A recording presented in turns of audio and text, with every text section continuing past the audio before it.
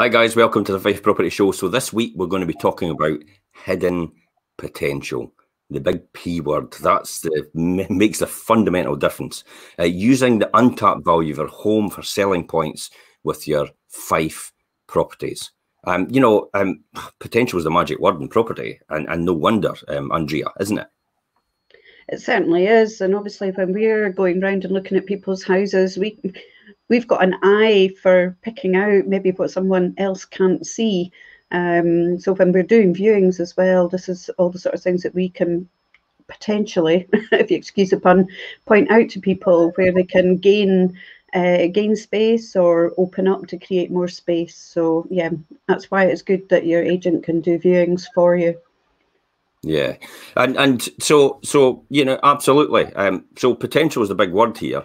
Um, and there is ways to maximise that as well. And I talked about to the landlords investors group, it will have the private investors group. I says, you come along to the show, watch the show, engage with the show, ask questions as well. And the reason for that is because as a landlord, um, an investment strategy, one of the key things here is the potential you can unlock in the property once you buy it in order to increase the value exponentially to what you've actually spent on it to refurb it, if that makes sense. So what, what would happen there is you know, you maybe buy a house for maybe buy a property for I'm going to say a house for 60 grand. Where are you going to get a house for 60 grand now? you got a flat. Not many places. Aye. You got a flat for 60 grand.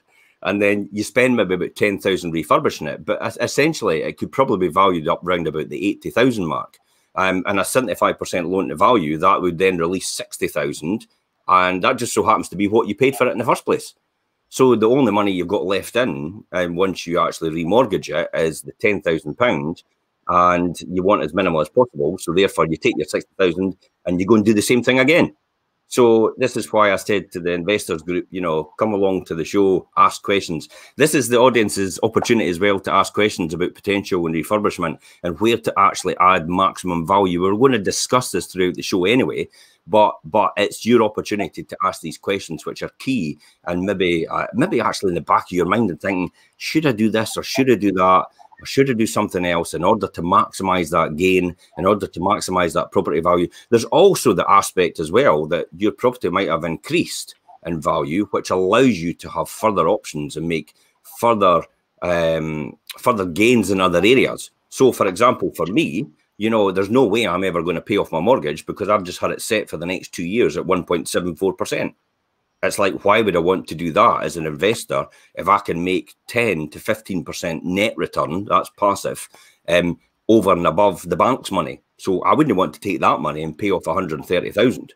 You know, that would be crazy to do that because I'm making a 12% differential on every single pound I'm borrowing from the bank. Makes absolute sense, doesn't it? does. and that's wealthy, stay wealthy. Interesting enough, talking on that subject, uh, actually, um, I heard this the other day, and it's maybe not about potential, but um, this is actually quite a good one about investment strategy and about how people uh, don't realize um, the importance of actually creating wealth. Uh, and the, the, the phrase went along the lines of the difference between wealthy people and people that are not so wealthy are the people that are wealthy when they get money they immediately say, right, what am I going to invest it in? And then they go and invest it. And then what they've got left, then they go and spend it. The difference with people that are not wealthy is when they get money, they go and spend it.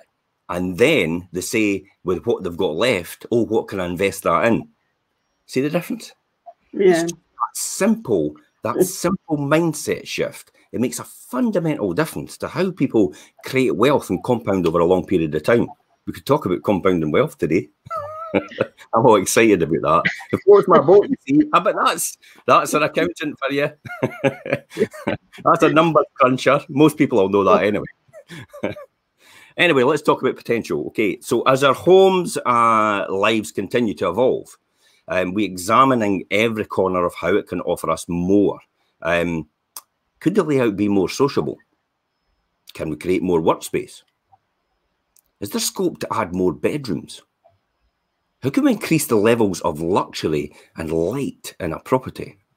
So, one of the unseen parts of the estate agency is looking at potential in every home, not just for those that need modernising um, and as your selling partner in your move, it's part of our job, and as you said, Andrea, to explore every possibility to widen your audience to get the best possible price. I'm amazed at the amount of people I walk into and they just say, Well, it's my house. It's like, you know, it's maybe needing, and they're apologizing all the way throughout the property. And I'm sitting going, Wow, wow, that's you, what you could do with this, what you could do with that, and what you could do here, and what you could do there, and what someone else can do, not necessarily you, um, opens up that whole field for marketing in order to attract that biggest audience, as was said, to get the best price. Because that's what our job is. Our job is not to sell a house; it's to market a house. Ultimately, the person that buys it, well, that's how we've sold it. But marketing is the key to the strategy to increase the value at the end result in your home. That's what it comes down to, doesn't it? It does. And, you know, I've noticed that when some people, there are two very different types of viewers, and there's viewers that want everything that's perfect, they want everything ticked off on their must have list when they're going looking for houses. And there are other people that are willing to compromise. And it, it's there that we can step in and help, um, help them see the areas where they can compromise. Maybe the house hasn't got garage or hasn't got off street parking, but there is a potential there to create that. Um, yeah. So uh, that's where we come in. I mean, more and more buyers want a home with a chance to make their mark now, or to grow them um, as a family as a family member and grow as their family unit. Um, and we tend to offer more um, to people in property in unexpected ways by taking that interest in how they live. Instead of simply asking how many bedrooms they want, it's more about what is it what is it that's going to tick their boxes? You know, I, I mean, you know, they can find out how many bedrooms they want on the internet, can't they? They just press a button and they go, it's four bedrooms, it's three bedrooms, it's that price point, it's this price point. But the, the, the, internet doesn't understand and computers don't understand what people want out of their lifestyle. That is our job. Um, to get that out of someone and actually produce it. I mean, if, I'll be honest, if you are not living in your dream home just now, why are you not talking to us? That's the reality. Because you can. And we could show you how to get that. That's really ultimately how it's done. And a lot of people will walk away from that statement and say, oh, he's talking rubbish. I've got no chance of doing that. But you don't know what you don't know. That's the key here. And we know that. And it's our job to let you understand that so you can make a decision based on facts, not just what you think at this point in time. You are where you are because of the way you've thought and the decisions you've taken. If you want to change that, you have to speak to someone else, which will take you to that next level. And this is where potential opens up to everything. It opens up to your dream home. That's really what it comes down to. Okay, I'm going. I'm on a rant today. carry on. I'm listening. So this week's this week's show is all about the typical opportunities we look for um, when appraising a property for sale. Um, and if you'd like some advice on realizing that, you know, feel free to message us direct or anything like that on this blog afterwards. If you're not watching the show just now, you can ask questions just now if you want as well. But we're going to come on to one of the first key areas here, and and, and essentially that is um, adding rooms. You know, so uh, the most obvious route to increase a home's value is to make it bigger. Um, that's really what it comes down to. Uh, even if you don't extend it yourself, you're likely to achieve a higher price when you come to sell if you've already obtained consent for additional uh, for an addition that requires planning permission. I mean, you know, you you know yourself, Andrea. The first thing if you have planning permission on something, you instantly increase the value of it. it, it the typical example is yeah. land, isn't it? It is. Yeah, we did that. We managed to um, create two plots of land with outline planning consent for for two house two uh, detached houses, and it was about five times the value as it would have been if we hadn't had planning consent for each plot. Yeah, because essentially land itself, an acre, is what, 10, 15,000 pound if it's got no not planning even Yeah, not even as much as that. I think it's probably just about 10, probably mm -hmm. 10 maximum at the moment. So, so increasing that value and getting that planning permission is probably key if you can. And is it is it worth the effort and rigmarole? Because a lot of people look at it and they go to themselves, "Oh God, I've got to submit an application. Where do I start with architects? Because I had I have to get drawings written up, and then I, how much do I have to pay? So is that something that would put people off, or is it a simple process to do? it's a fairly simple process. I mean, you don't actually have to go to an architect. Um, they have uh, planning. Uh, I can't remember what their proper uh, technicians, and quite often planning technicians will be able to do your basic drawings for you at a much reduced price from from an architect. And um, you don't you don't even have to get a qualified person as long as your drawings are to scale, and you submit all the correct um, mapping data uh, to the planning consent. And of course, the main important thing is what the planning look for is your payment for it. Um, they'll, they'll be able to do it. I mean, I did my own plans. I've done that several times now. Wow. And got them through. Okay, so you're trying to tell me I should have stuck in at techie drawing at school? Absolutely. and I was just sitting there wondering that one day, would I need this for anything really? And that's all I thought at school when I was on all my subjects.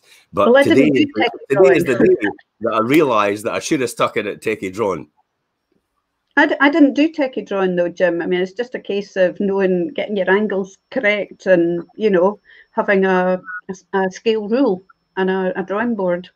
Yeah. So the obvious route when you think about it is just uh, get outline planner permission. Outline planner permission. You don't need to have exact plan permission, do you? No.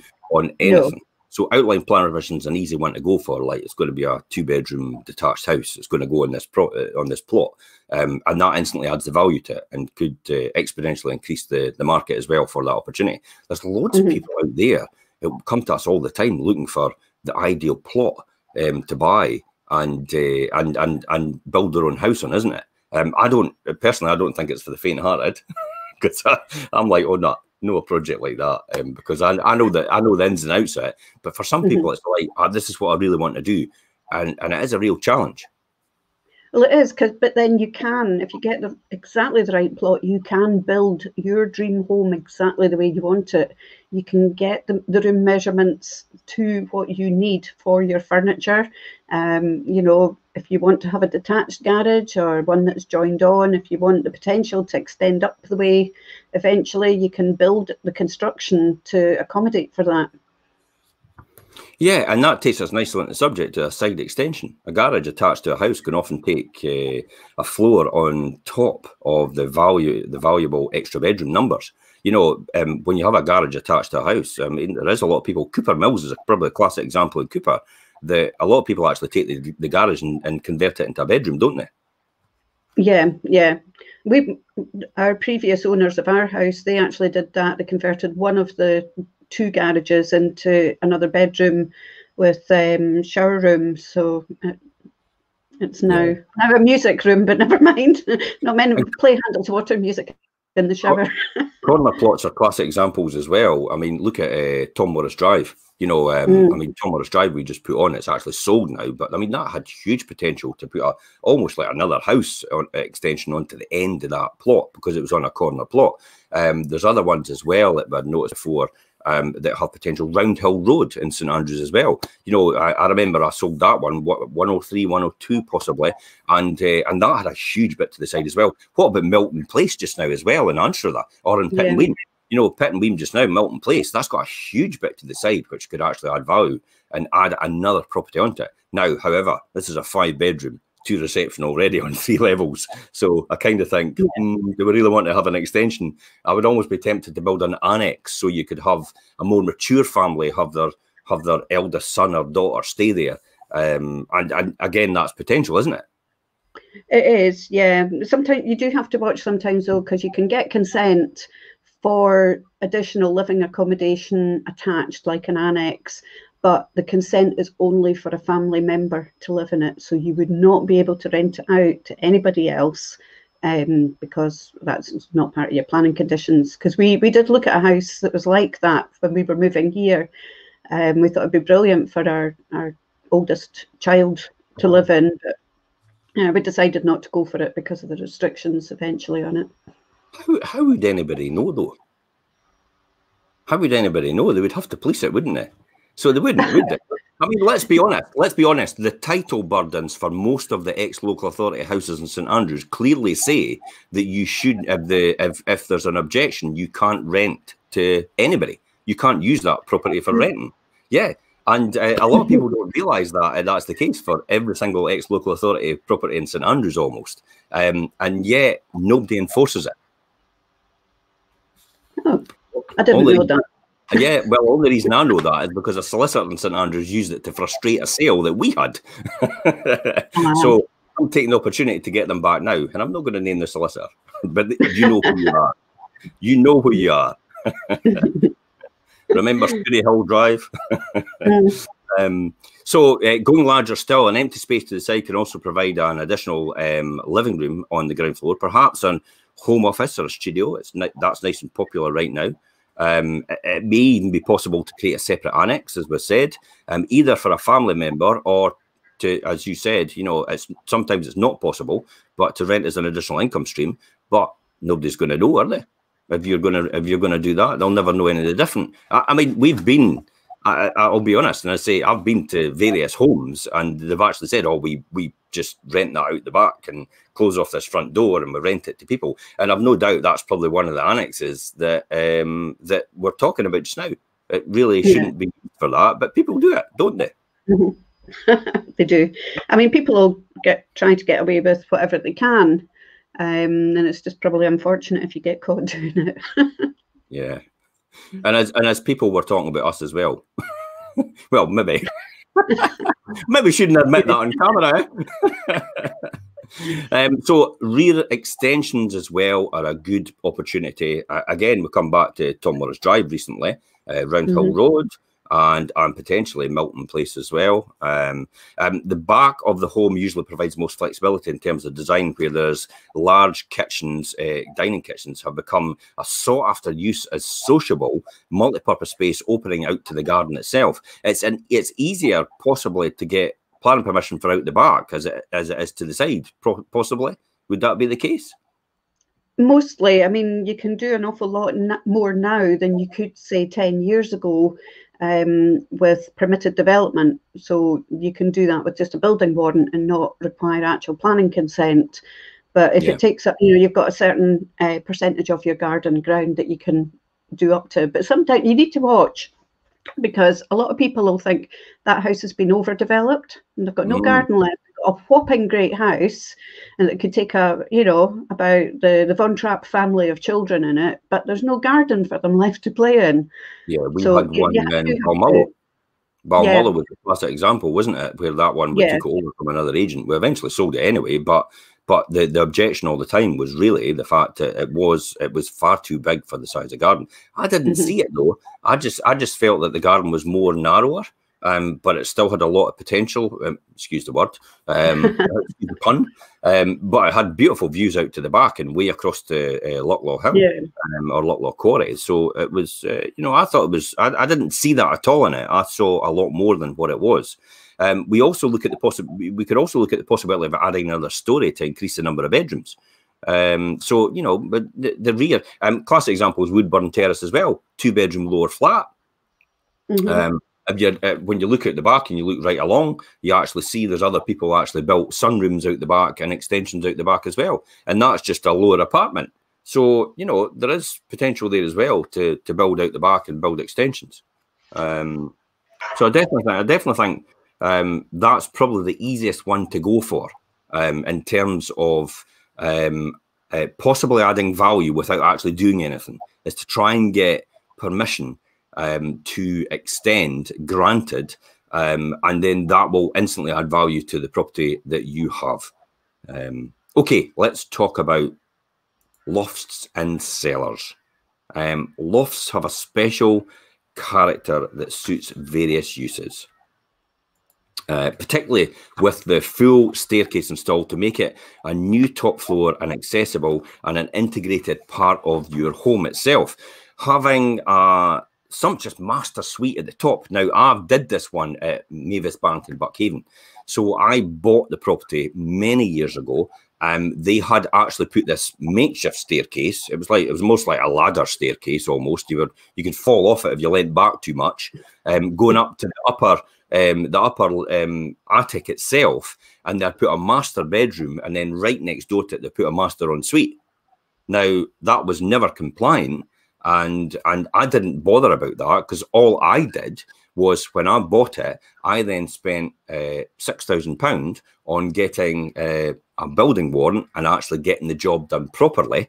um, in order to pass that and put the fire doors in on the second level and on the first level as part of the requirements. So I spent six thousand pound, and out of that six thousand pound, I probably added round about thirty thousand pound to the value of that property just because I managed to put a, a, a, an ensuite luxury master bedroom upstairs.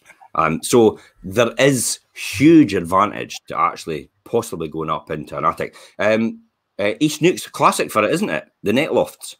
It is, yeah. I mean, a lot of people have um, converted their net lofts. They've got proper. They they had little stairs up to them anyway, so it wasn't such a huge effort to put in stairs. But an amazing amount of space up there, and absolutely crying out to be uh, developed. Um, you get fantastic. You could get a decent two two decent rooms up there. Yeah. Morning, Richard. How are you today? Um, okay, so let's talk about as, that as well. I mean, net lofts in East Neuk, um, probably classic ones that I remember are Gourlay Crescent. You know, the, the bungalows. So the bungalows in Gourlay Crescent are always right because they were easy to go up into the net loft and them from the stairway in between and uh, create one big master bedroom if you want. Um, and it does add value because I remember one of them next door uh, without any conversion, I sold for 110 and then the one that had the conversion we sold for probably 145 so you know just going upstairs and you know tell me there's a there's a what um 35,000 pound differential between the two of them it would cost you to do that job to go upstairs um so i you know adding value is an easy opportunity to do especially in areas where properties are in high demand and you create further space as a result of what you're doing um mm -hmm. so that that definitely that sumptuous master suite where the um, bathroom, the private bathroom, could add a welcome sanctuary, especially away from the kids for a lot of a lot of people. Um, or a pair of children's bedrooms could be made, perhaps with a shared shower room, Jack and Jill in between, um, to ease the strain on the main family bathroom. You know, because um, well, we've quite fought. It's funny, but we've got three bathrooms in our house, and our kids all keep coming to ours, and it's like you don't just go to your own. It's like it's not as if it's anything different than what we've got, um, and it's like they always keep coming down to us. I'm a bit. It's maybe the television that's the distraction. it was well. It was one of my. It was one of my want things to have a television in my bathroom. I mean, it's nothing extravagant. It's like a two hundred quid television. You sink it into the wall, and uh, and you just make sure you've got um, what's it, a fire stick on it. So you can use it and you could watch uh, uh, Amazon, you could watch um, Netflix or anything like that in, in the bathroom. It's a waterproof television. So, you know, it's it's people will pay like 600 quid for their tellies and add 200 quid for one in your bathroom. Um, so it was perfect. It's something I wanted, something that ticked my box. But I think that's what makes everybody want to use our bathroom instead of instead of the, the their own bathroom, which is quite frustrating. No, but you're, you're hoarding all the toilet roll. Aye. Um, a loft, and as we said, a loft can provide the perfect home workspace hidden uh, above busier areas or a studio, perhaps, for wellness or creativity. Um, uh, down below, this is a bit more challenging. The least headline grabbing feature in older homes is usually the cellar, um, generally regulated to the junk rooms. Um, uh, also damp and musky. Um, they could make excellent mu music rooms though, because the soundproofing is below um, the the um, the ground level. Um, so they could be excellent for soundproofing. They could make an excellent cinema room as well because the darkness is actually perfect for the cinema. Um, or a children's play den to keep the living areas um, clear of toys. You know, so that's probably where cellars would be a big, big advantage. Um, but can can you remember any any properties off the top of your head where where you have um, cellars that you think, all right, okay, that that was that was a good a good conversion?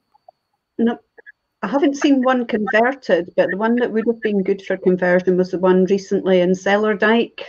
Um, West Forth Street. West Forth Street. Yeah. yeah. Although it was a shared cellar, the ground floor flat had its own stair access to it, um, which would have From been. Yeah, that's right. And you could yeah. subdivide that. Um, you could subdivide that because um, you can get in from the outside, they can get in from their own house. So you can subdivide it in between to have a divider. So you've got an extra extra area.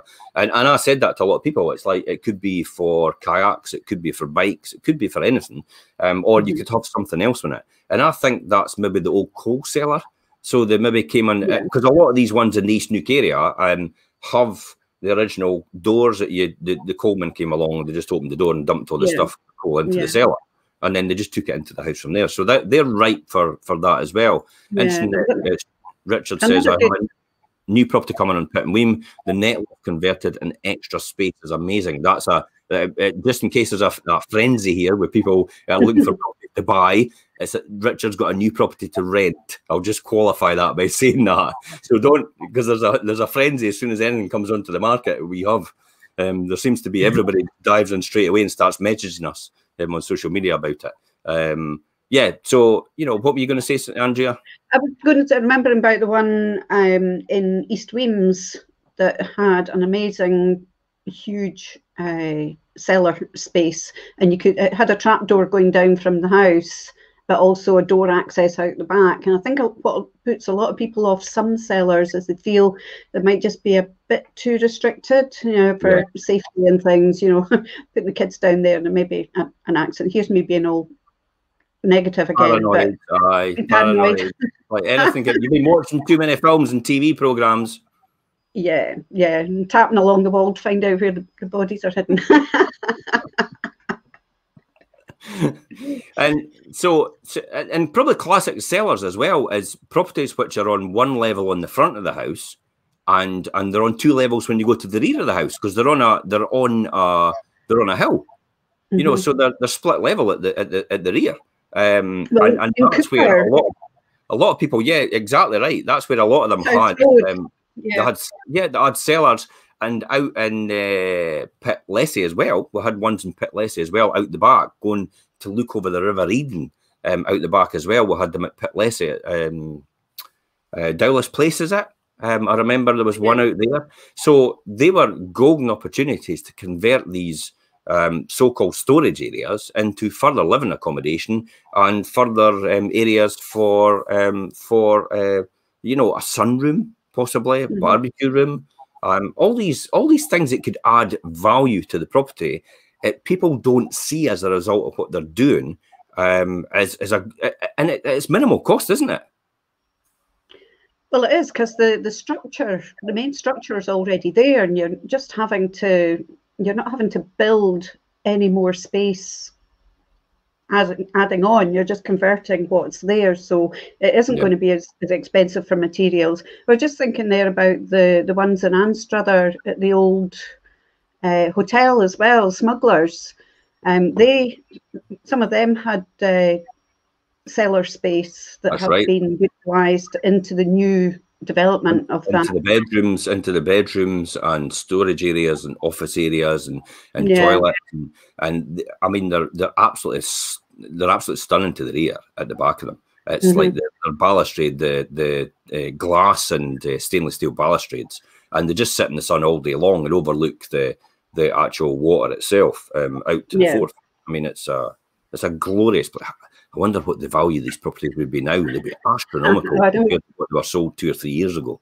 And yet, two or three years ago, we thought to ourselves, wow, I can't believe people are paying the prices like that for them. But now, in hindsight, it's like, yeah, beauty. They got a bargain. You know, when you mm -hmm. look mm-hmm. back on it now, it's the same way, you know. I, I spoke about it to a house builder this morning um, about about the development we we were helping sell in uh, St Monans. I mean, all these properties have actually been sold off plan. Are probably worth significantly more just now on paper than they are what they bought them for um, just about two or three months ago. Yeah. So it's it's exponentially the prices of property are going up. Um, you've got to look at opportunities to add value to what you're doing and see that, and and that's where we see that potential. Um, often as well, uh, you know, when I'll I'll see properties that I'll buy, uh, and I will see that in the potential that wait wait a minute, I could I could actually just convert that, I could do this, and I could add the value to it, and uh, and see instantly where I can get it. So it's having, I suppose, it's having that eye and that understanding when you go around to see a client, you know you've done it before, so you're able to relay that information with a lot of confidence in the fact that well, I've done it before and it works. So um, so you didn't have any doubt. And by the way, it's that process and that process and that process and that process that you need to do in order to get that over the line. And uh, you've instantly added that value. Yeah, I think it's probably, if you're thinking of selling your house, it's probably quite wise that if there is potential there, that you get some quotations done um, you know, for for what the work would likely cost, so that you can tell your prospective buyers, well, if you're wanting to add on another room or convert the garage, it's yeah. going to cost X amount. You know, we didn't want to do it, but you might. And and this is where the challenge comes just now because um, because some of the house builders or some people are, are, are turning around and saying they're not doing extensions anymore. They're actually just saying we're not doing extensions. Um, we're focusing to, more on new build. Um, so I'm sorry we can't help you because they're they're just under pressure. Um, all the house mm-hmm. builders out there as well. I was speaking to one this morning, um, quite a big one in Fife, uh, and and the messaging them back and forward, and he was saying it's like the resources they're scarce. Um, th their biggest concern is material and labour costs uh, uh, going on from here, and and uh, if that's going to escalate in the short term pretty quick, because at the end of the day they've agreed to prices with people uh, to, mm -hmm. to buy a house at a certain value. Um, so therefore, that's going to be the challenge, to keeping that under control and keeping their costs yeah. under control. Yeah, and supplies, you know, timber supplies are, are in short at the moment, and the demand is massive for timber. Um, yeah. You just you just can't buy fencing anywhere at the moment because we've tried.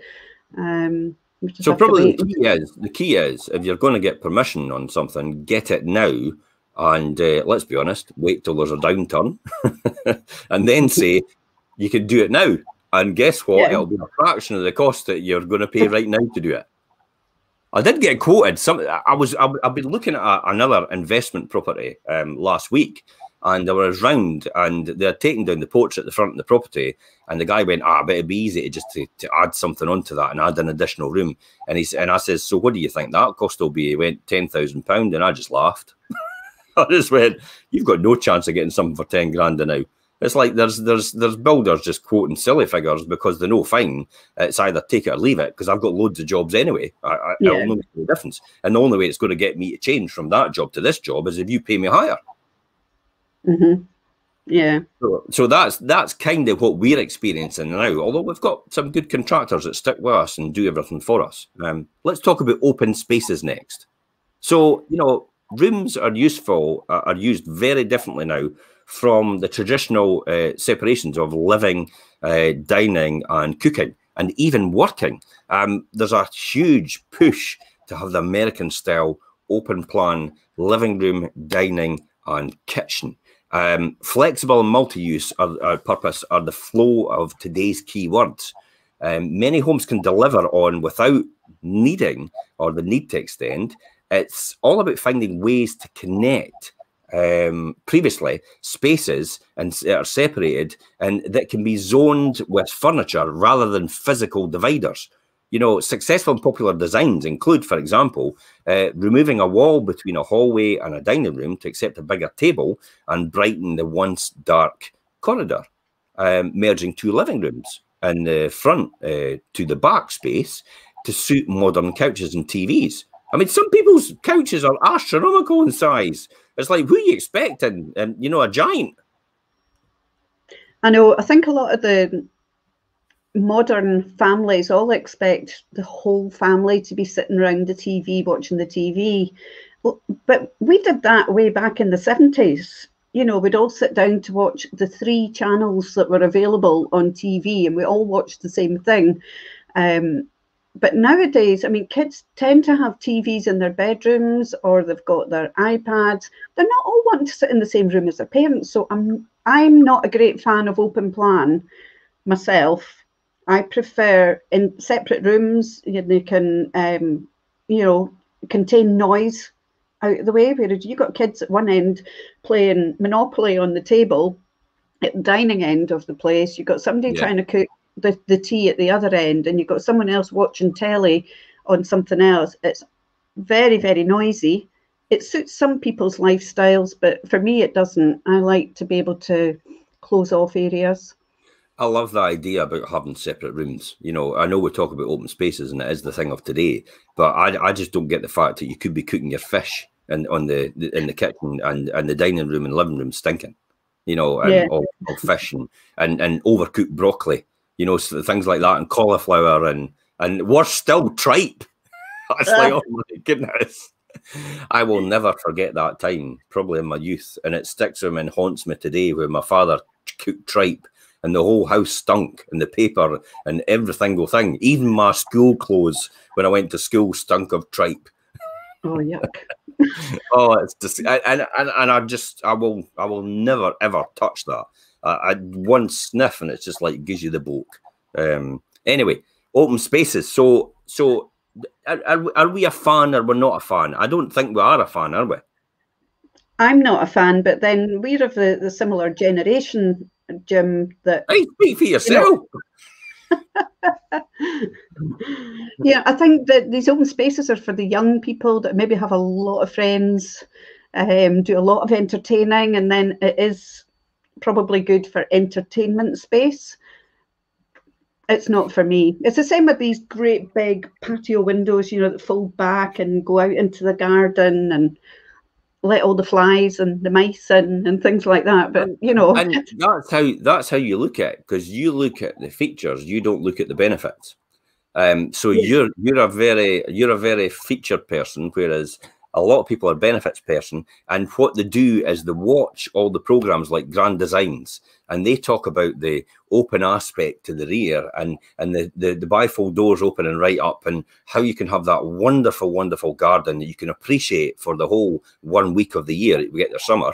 Um, and but but it's it's painting that picture, isn't it? It's mm-hmm. painting that picture that people see that, and it's the open plan um, that you see on the television programs as well. You see all that how it interacts with each other and how the open plan and the wonderful parties that happen on in between. But then people don't think about the practicalities of the the fish and when you're cooking it for your tea and and and it goes right throughout the house the washing machine if you don't have a separate laundry burling away while you're while you're doing that so that you know there is a there is an argument um i feel like i'm on room 101 Shall we put all like bad places in the bin?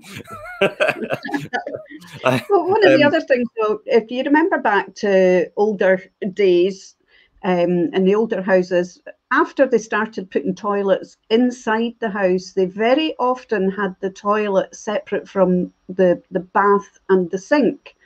Uh, yeah. and, which was a fantastic idea because if somebody was in the bath, somebody else could still use the toilet. And and then it went into the sort of the era of needing a, a, completely separate WC and bathroom. And then somebody thought the great idea, well, let let's have one in the main bedroom for only the the, the, the owners of the house to use.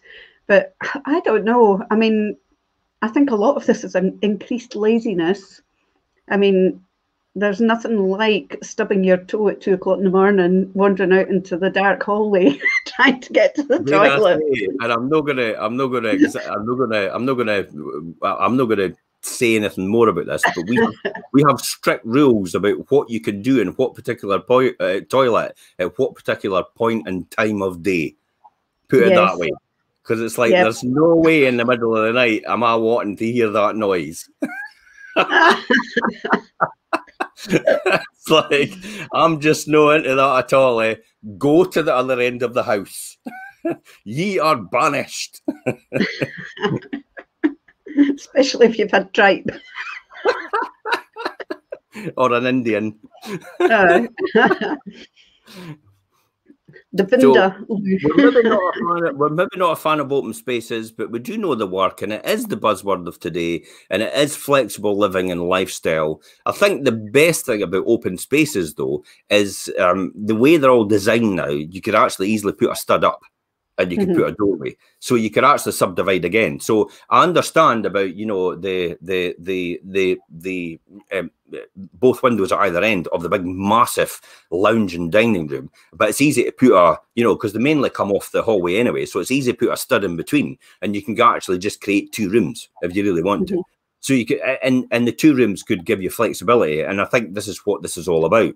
It's having that flexibility to be able to see beyond that, um, whether it could be an open space or whether it could be returned from an open space. Uh, and and that's that, you know that's our job. That's what we do. We paint that picture. Um, ultimately, if that's what somebody wants, that's what we'll deliver, and we'll show them how to get it. You know, it's, it's every single time when I walk through a property with someone, I'll talk about the potential um, and I'll listen to what they want to, to, what they are saying, and I will reflect that back to them in the way that they want to hear. uh, in order to maximise the value. Let's be honest, that's my job. there, was, there was one of the properties, I think it was Mackay Avenue, um, and it had, I think it had originally been three bedrooms, but the, the owner had turned one of the bedrooms and opened it up with the lounge with a sort of an archway and blocked up the door from the hallway. And that could easily be converted back to be three really good sized bedrooms uh, with a good sized yeah. living room.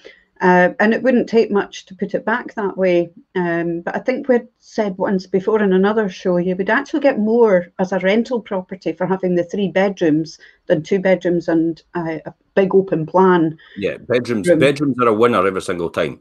Uh, defining defining a bedroom as a, a, a, room as a bedroom is is fantastic for for the internet. Um, in today's modern way, how things work and how search capabilities and engines work. Um, you want to define as many rooms in a house as a bedroom. So when you go to put it on the internet, it actually matches with maybe a five bedroom rather than a three bedroom and two receptions. Uh, and the reason for that is because a three bedroom will appear with every single other three bedroom in the search criteria and you will look overpriced. Whereas if you've got a five bedroom, you'll appear with every other five bedroom and you will look more better value, less expensive. Uh, and so your house will be more desirable as a result. And that's a key tip for a lot of people because I've had a lot of sellers say to me, but it's a dining room. I says, but it can be a bedroom. And let me explain to you why we want to we want to say it's a dining room, but it can be utilized as a bedroom. And the reason for that is for this reason precisely, because then your house will look better, a better price point in that number of bedrooms category than actually in the lesser category where it will look over expensive. Uh, it will look a lot more money you'll have to pay for less accommodation. So it's better to have a five bedroom property than a three bedroom and two receptions. Okay. So yeah. open spaces, we, we are fans, we're not fans, but we know how to market it properly and sell that dream. Um, let's talk about luxury upgrades adding the extra sizzle. I mean, this is this is it really. The luxury upgrades is a surefire way to stand out from the crowd. Um, while increasing comfort um, gives a home a more enjoyable and desirable quality to it. Um, a central cooking island uh, makes a statement straight away and sociable centerpiece in that kitchen that also looks fabulous in photographs as well. Um, I mean, just having, I remember the one up in Forth View in Kennoway where you just press the wee vent and you know how you have the vent across the back uh, above you, you have the extractor. Well, you just press the wee button and the, the extractor comes out from the worktop right behind the right behind the hob. And then you've got the Bora hobs as well with Lomond mm -hmm. where the hobs actually the extractors in the middle and and the the steam just goes down and and through mm -hmm. the mm-hmm. extractor in the middle. Uh, and, and to me, that's a that's a statement in itself. I mean, incorporating a utility room keeps the laundry out of the main part of the house as well. I mean, that's another one. And repurposing an understair space as a ground floor cloakroom adds value and function in the process, as well as it's an ideal spot um, um, for a glamorous moment. Who are? What does that mean, Jim? I am saying nothing. Although I was watching this program last night, it was a bit racy. and, and look at it, enhancing a master bedroom with an ensuite not only injects a seductive slice of indulgence, it also transforms the morning battle of the bathroom and can often be accomplished by repurposing all or part of an adjoining bedroom. You know, that's another easy way for somebody to do that. You know, repurposing an adjoining bedroom and actually just taking a wee bit off in order to make that that different one. Um, outside uh, garden uh, rooms have become more popular than ever, so that's a luxury. A modern and stylish design makes a perfect home workspace for studio, uh, faster, um, less intrusive, and cost and less costly, really, than extensions or loft conversions. But you know, if you're putting a log cabin outside, make sure that you're no paying over the earth for it. Um, you know, over the odds, because there's some people out there I go out and, and I'm going, wow, this is an impressive outside space and it's like, how much did this cost you? And they're going like, well, it cost me twenty thousand pounds. I went, oh my goodness, you could have built an extension almost for that, um, mm-hmm. and, and that would add a significant value and permanent value to your home. Um, so I mean, it is a worry. So if you're going to think about that, please feel free to message us and contact us. We'll give you free advice. It's at the end of the day, we'll deliver the facts for you to make a decision on, and it's entirely up to yourself whether you want to do it. But it's good to have someone externally that's got experience and expertise in order to tell you that. Um, if overlooking uh, isn't an issue, a roof terrace, you know, um, East Neuk's maybe classic for that, although some conservation areas you can't do that, um, eh, or a, a, above an extension or cut into a roof line. Well, we could talk about that at the back of the smugglers. You know, that's where mm -hmm. they mm-hmm. did. Out in balconies onto the roof with the extension below, and that's what made it a beautiful place for entertaining and relaxing in the sun. Mm um, there was that nice one at Collessie as well. Remember? The, oh, that was beautiful. the balcony, but and then there was another one, one that's just exchanged in Cupar uh, on Wells Street. It had a lovely roof terrace.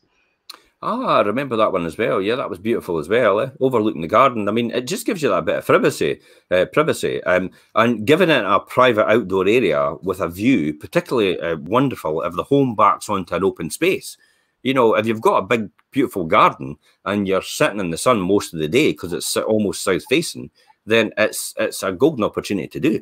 Um, often as well, I've you know I've taken people up and to um, uh, St Monans and Pittenweem that, and we've talked about well we can't do anything about the front because it's a conservation. But I tell you what, you can do to the rear. You can cut about the roof, and you can actually make a beautiful area to to sit in a roof terrace, and that accommodates for the fact that you don't have a garden. Mm -hmm. You've even got the Velux, um, so not name dropping, but that, yeah, that is a, are available. And yeah, it's a double part window, and you push it mm -hmm. out, and it's got railings already built into the side. It's absolutely amazing.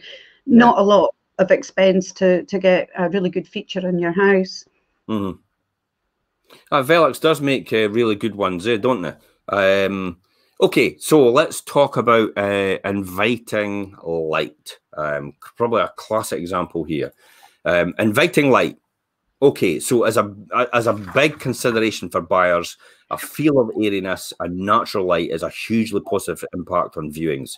Uh, thinking of it um, as a daily dose of domestic vitamin D, really, that's what it comes down to.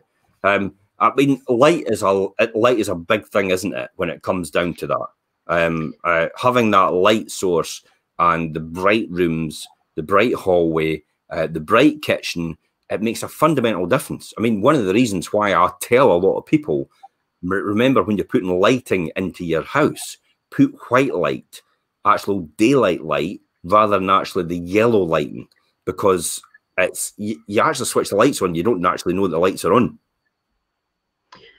Yeah, I noticed that, especially in our back office. I keep going to put the light on and it's on already, but but no, it is. It's very good and it's much gentler, kinder on your your eyes as well. Um, one of the things that I was going to say about light, a lot of people they say, "Oh no, my house must it must have a south-facing back garden because we want to put up a conservatory." And I thought, have you actually thought about putting a conservatory up on a south-facing back garden, you are not going to be able to use it in the summer because it's going to be too hot. Your best place for a conservatory is actually on a north or west facing garden. Uh, yeah. all year round then. Mm-hmm. Uh, and, it, and it lends itself to that. But uh, I'm a big fan. It's like, don't do the conservatory, do the sunroom. Just pay do the wee bit you know, do the sunroom because it is a multi-purpose room then, and it makes a huge difference. So for that extra few thousand pounds, um, just to make sure you've got a roof on it and you've got a stable structure uh, to support it. Um, it's it's beneficial. Um, mm-hmm. I've seen a lot of conversions as well, where people have actually converted the existing uh, conserv- conservatory and they've changed it and they've actually put the roof on. Um, yeah, you get the lightweight roof tiles for yeah. that. It's quite pricey to do.